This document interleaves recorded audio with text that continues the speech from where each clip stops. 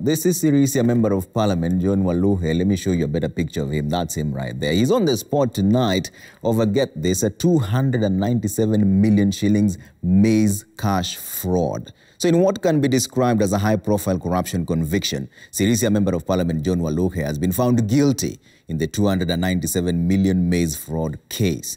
The MP now risks losing his seat after the court established that he obtained money through the National Cereals and Produce Board by false pretense.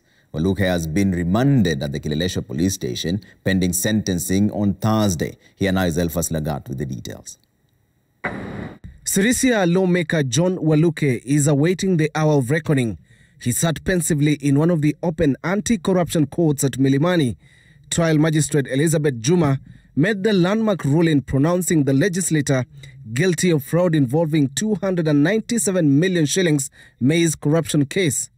In her ruling, the magistrate said the prosecution had proved beyond reasonable doubt that the MP, alongside Grace Wakungu, who is a co-director with Waluke at Erad Supplies and General Contractors, acquired millions of shillings by false pretense. The presumption of innocence has been removed with this conviction, and I agree with the, the prosecution that the state has The charges read in part that on or about March 19, 2013, Erad Supplies and General Contractors fraudulently acquired 297 million shillings purporting to be cost for storage of 40,000 tons of white maize. Waluke has, however, been acquitted in two counts of uttering documents by false pretense.